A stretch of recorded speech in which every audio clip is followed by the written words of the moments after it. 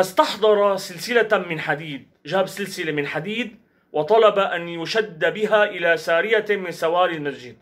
السارية في المسجد معروفة مثل عضاضة أخواني الكرام المدورة. وهو واقف على قدميه ثم قال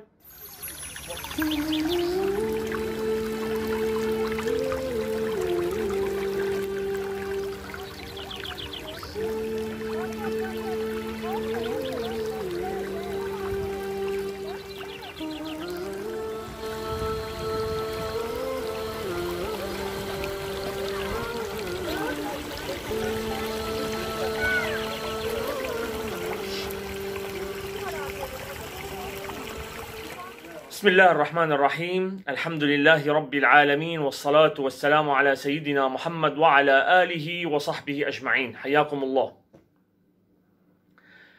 هل تعرف الصحابي أبو لبابة رضي الله عنه؟ أكيد أول مرة تسمع بهذا الصحابي الجليل. نحن نعرف فقط الفنانين ونعرف لاعبي كرة القدم. أمثال ميسي ورونالدو إلى آخره. لكن هل سبق وأن تعرفت أو سمعت بخبر هذا الصحابي الجليل؟ وكيف أن الله سبحانه وتعالى أنزل فيه آية كريمة تتلى إلى يوم القيامة؟ هذا الصحابي الجليل في السنة الثانية من الهجرة عندما خرجت قوافل الحجاج من مشركي يثرب ميممة وجهها شطر مكة تريد الحج. وكان في صفوف هذه القوافل المشركة سبعون رجلا وامرأتان. قد اعتنقوا الإسلام ولكن في السر. وأقبلوا على مكة وهم يريدون رؤية رسوله الكريم عليه الصلاة والسلام. فقد آمنوا به قبل أن تكتحل أعينهم بمرآة وما إن وافوا مكة يعني وصلوا إلى مكة حتى واعدوا الرسول عليه الصلاة والسلام على لقاء سرا في ثاني أيام التشريق، إمتى أيام التشريق؟ في يوم عيد الأضحى المبارك، وكان موضع اللقاء عند الجمرة الأولى من منى، بس إمتى كان وقته؟ كان وقته في الهزيع الأخير من الليل. يعني الثلث الأخير من الليل. خوفا من أن تعلم قريش بهم. فالليل ستار والدنيا نائمة إلا قلوب المؤمنين فهي يقظة دائما بذكر الله سبحانه وتعالى. وهناك سعد المؤمنون السابقون من الأنصار بلقاء نبيهم صلى الله عليه وسلم في نجوة من قريش. يعني بعيدا عن نظرها لقريش يعني بعيد عن أنظارهم. وهناك أيضا بسطوا أيديهم إليه وقالوا بايعنا يا رسول الله فنحن أهل الحروب وأهل السلاح ورثناه كابرا عن كابر. ثم بايعوه على أن يمنعوه مما يمنعون منه أنفسهم ونساءهم وأبناءهم وأن يرحل إليهم هو وأصحابه. وكان في طليعة المبايعين من؟ بطل قصتنا اليوم هو الصحابي أبو لبابة رفاعة بن المنذر هذا اسمه. وقبل أن ينفض هؤلاء المؤمنون المبايعون عن رسول الله صلى الله عليه وسلم اختار من زعمائهم اثني عشر رجلا جعلهم نقباء عليهم وكان في جملة النقباء أبو لبابة. ثم أذن الله لنبيه صلى الله عليه وسلم بالهجرة فيمم وجهه شطر المدينة ومعه صفيه وخليله وصاحبه سيدنا أبو بكر الصديق رضي الله عنه. فما إن وافى الرسول صلى الله عليه وسلم مشارف يثرب حتى زحفت المدينة بأجمعها كلها لاستقبال نزيلها العظيم والترحيب بنبيها الكريم سيدنا محمد صلى الله عليه وسلم. وكان أبو لبابة في طليعة المستقبلين المرحبين ومرت الأيام وأرسيت قواعد دولة الإسلام أسست يعني. وأذن الله لنبيه صلى الله عليه وسلم بالجهاد وعزم الرسول صلى الله عليه وسلم على لقاء المشركين في بدر. فلما فصل جيش المسلمين عن المدينة متوجها للقاء عدوه وعدو الله كان في الجيش أبو لبابة وهو يتشوق إلى الجهاد ويمني النفس بالاستشهاد. يعني بتمني إنه يروح يستشهد في هذه المعركة. ولكن الرسول الكريم صلوات الله وسلامه عليه رده من بعض الطريق وأمره بالرجوع فأذعن أبا لبابة للأمر وعاد أدراجه وفي النفس غصه وفي الفؤاد حسرة. يعني كان رايح ولكن يعني ما بنفسه إنه يروح. ولكن الرسول صلى الله عليه وسلم قد أمر امرا وأمر الرسول عليه الصلاة والسلام لا يرد. فطيب الرسول صلى الله عليه وسلم خاطره وضرب له بسهم ووعده الأجر فكان كمن شهد بدرا. ظل أبو لبابة مخلصا لربه. وفيا بالبيعة التي بايعها لنبيه صلى الله عليه وسلم حتى كانت غزوة بني قريظة. حيث كبى جواده كبوة ما كانت تخطر له على بال. وزل زلة ما كان يتخيل أنها تصدر عنه. ذلك أن الرسول عليه الصلاة والسلام توجه بعد غزوة الخندق إلى بني قريظة.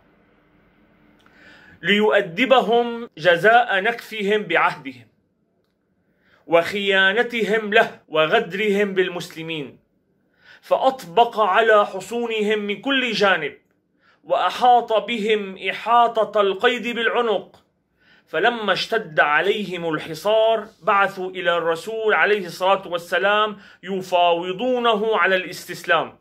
ويشترطون لأنفسهم بعد الشروط. عم يقولوا للرسول صلى الله عليه وسلم نحن نستسلم بس إننا شروط. فأبى النبي عليه الصلاة والسلام أن يقبل منهم أي شرط. منهم بني قريظة هم يهود بني قريظة.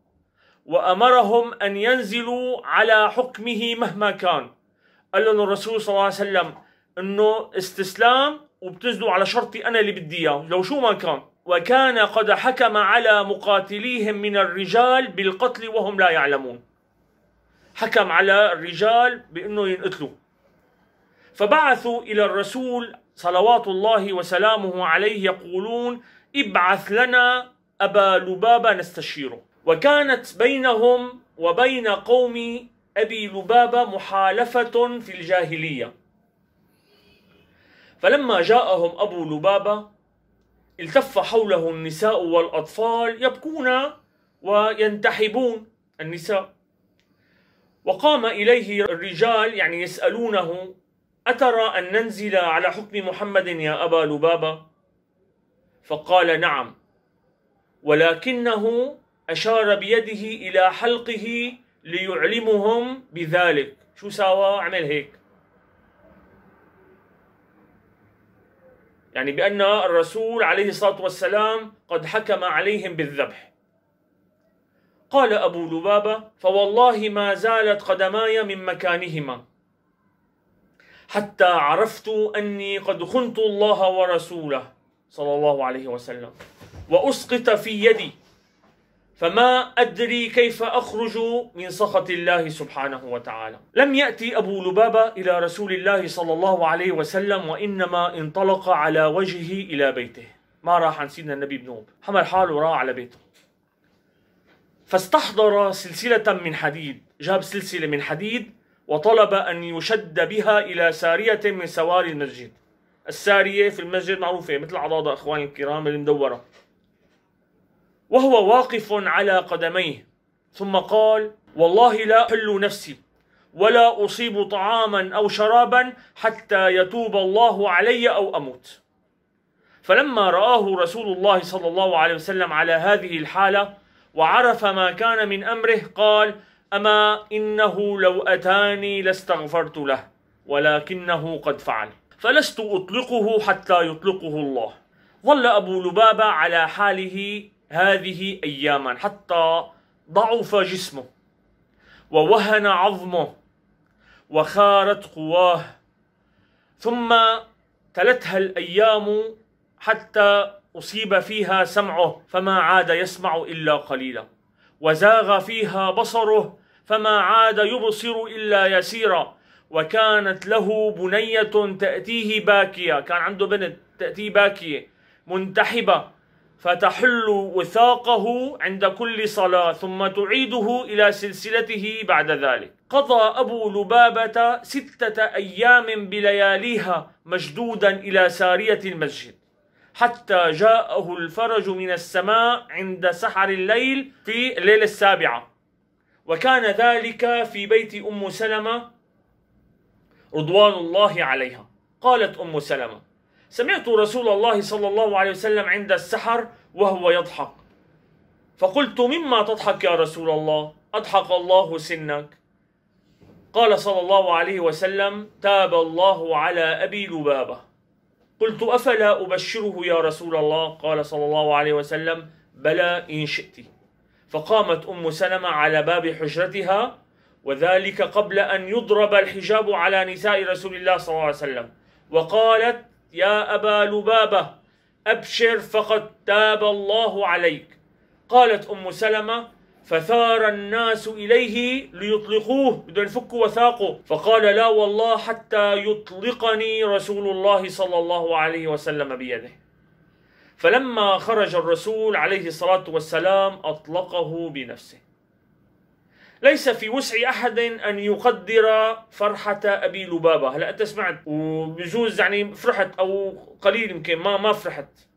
لكن فرحة أبو لبابة بتوبة الله عليه. إخواني الكرام تصور بهجة, بهجة الفرح أن الله سبحانه وتعالى ينزل آية كريمة في هذا الصحابي الجليل.